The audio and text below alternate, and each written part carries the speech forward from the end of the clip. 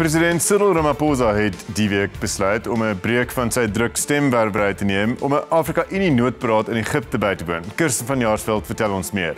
Egipte se president en die huidige voorsitter van die Afrika-Unie, Abdel Fattah el-Sisi, het van sy amptgenote, insluitend president Cyril Ramaphosa, ontbied om in Kaïro byeen te kom om die politieke en veiligheidskwessies in Sudan en Libië te bespreek.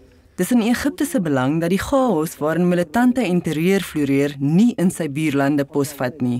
Al het maandelange betogings in Sudan uiteindelik op 11 April daartoe gelei dat president Omar al-Bashir na 30 jaar in die amp in 'n staatsgreep uit die kussings gelig is, heers daar steeds groot ontevredenheid in veral die hoofstad Khartoum. Die protesleiers sê die militêre oorgangsraad wat tans in beheer is, weier om die mag aan 'n burgerlike raad oor te gee. Onderhandelings tussen die betogers en die oorgangsraad is opgeskort en die betogings buite die weermagkompleks duur steeds voort. Die AU-leiers het ook 'n beroep gedoen vir 'n onmiddellike en onvoorwaardelike skietstaking in Libië. Die rebelleleier Khalifa Haftar het 'n veldtog begin om die hoofstad Tripoli oor te neem. Haftar, wat tans die Libiese nasionale weermag lei, sê hy wil dit doen om die militante in Tripoli te beveg. Sedert Muammar Gaddafi se regime in 2011 omvergegooi is, is Libië in wanorde gedompel. Die land is verdeel tussen twee wetywerende magte, die Libiese nasionale weermag en die VN-erkende sogenaamde ooreenkomsregering. Volgens die Verenigde Nasies het die gevegte in Tripoli sedert die begin van die maand meer as 260 lewens geëis en veroorsaak dit meer as 30 000 mense hulle huise moes verlaat. Die AU het vir homself 'n sperdatum gestel om voor 2020 vrede in Sudan en Libië te bewerkstellig. Ek verwelkom nou die joernalis in Afrika kenner Liesel Louw. Liesel, baie welkom. Kom ons begin in Libië. Ehm um, so kan die owerhede daar is nie eintlik 'n sentrale regering nie, reg? Ehm um, Libië se probleme ja. oplos. Ja, op die oomblik is dit burgeroorlog. Ek meen Khalifa Haftar wat die generaal is wat uh, grootendeels in die ooste dikke deel van die land, jy weet, sy troepe gehad. Dit het hier in die laaste 2 weke tot by die poorte kan mense sê aan die buitewyke van Libië gekom. Daar is gevegte. Tripoli gekom. Sorry, eh uh, uh, uh, Tripoli.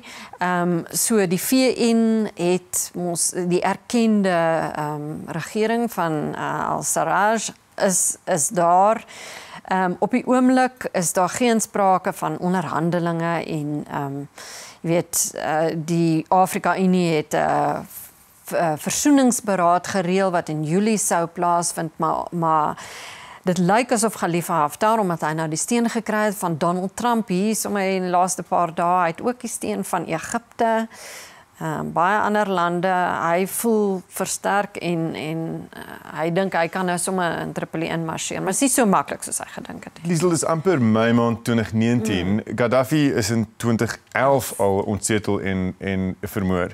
Ehm um, hoekom kon 'n owerheid, 'n regering nog nie tot stand kom in hierdie 8 jaar nie?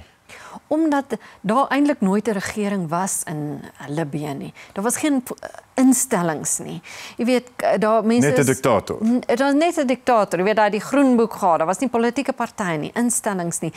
Hy het ontsettend baie geld gehad weens die olie wat hy dan aan mense uitgedeel het om hulle gelukkig te hou. Hy het sy groot weermag gehad. Daar was baie troepe van die res van die streek wat jy weet jy sal nou onthou toe Libië uitmekaar geval het. Toe daai ons nou teruggegaan Mali toe en nou het ons chaos in die hele Sahel en terrorisme en so en so. Dis dit eintlik daai daar daar was nie 'n staat nie. Jy weet Gaddafi het 'n um, staatsgreep uitgevoer teen en die voormalige koning ont ontsetel en en Gaddafi se die verskillende uh, groepe in Libië het Gaddafi soort van verenig en nou het dit net weer uitmekaar gespat. Sulke chaos is ook 'n teelaarde vir terreurbewegings ja. om in te gedei, reg, ook in Libië. Dit is so en dit was een van die verskonings ook nou in die laaste paar jaar vir die internasionale gemeenskap en so aan om vir hierdie ou Khalifa Haftar te ondersteun en ander groepe omdat die islamitiese staat het in 'n stadium 'n soort van 'n houvas gekry, maar hulle is toe eintlik uitgedryf weer uit Libië uit. Dis net oor Sudan. Ja. Uh, so uh, Omar al-Bashir se vertrek uh, is ek seker daaroor stort min uh, analiste 'n traan, maar mm. Libië is 'n voorbeeld en ander lande in die sogenaamde Arabiese lente het ook vir ons gesê dat die vertrek van die diktator is hoegenaamd nie 'n kitsoplossing vir 'n land se grootste probleme nie. Moet ons mm. bekommerd wees oor uh, die feit dat daar nou in Sudan ook weliswaar nie meer al-Bashir is nie, maar uh, een van die militêre regering. Regering. Ja, absoluut. En ek dink almal is baie bekommerd. Jy weet, Sudan was betrokke by so baie krisisse en selfs Suid-Sudan, jy weet in 2011 uh, afgeskei het van Sudan, maar uh, Al-Bashir was vir 30 jaar aan bewind en hy het ehm um, uh, groot betrokkeheid gehad reg oor die hele streek. So vir lande soos Egipte, die buurland van Sudan en Ethiopië en so aan, is dit ag uh, jy weet die, die onstabiliteit uh is wat mense bekommerd maak. Goed, maar is die rol so, van die weermag dan nie noodsaaklik nie om ten minste net te keer dat energie uitbreek. Ja, wel dit is die argument wat hulle nou daar in Cyril Ramaphosa soos ons nou gehoor het en LCC was in Kauru en hulle het nou 'n 3 maande oorgangstydperk gegee vir die militêre leiers in Sudan om te onderhandel met die vakbonde en die mense wat nou aan die strate protes aanteken om oor te gee aan 'n siviele regering. Maar die Afrika Unie behoort eintlik glad nie eers uh uitstel te gee nie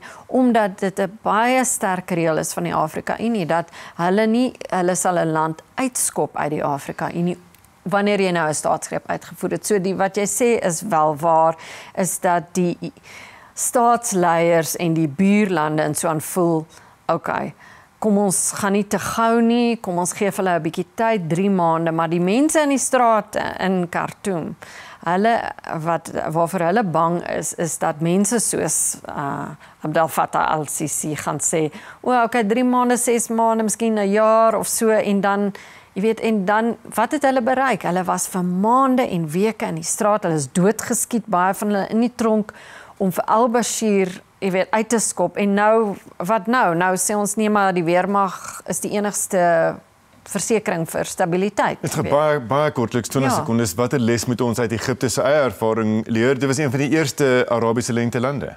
Ja, wat ons leer is dat uh daar is maar baie min opsies na so uh, jy weet uh, Arabiese lente. Dis eintlik net in Tunesië waar ons vandag sien is wat daar verbetering was 'n groter demokrasie as wat daar was voor die Arabiese lente. Baie dankie Liesel. Dit is dan al vir hierdie week se uitsending. Sien weer volgende Woensdag. Goeienaand.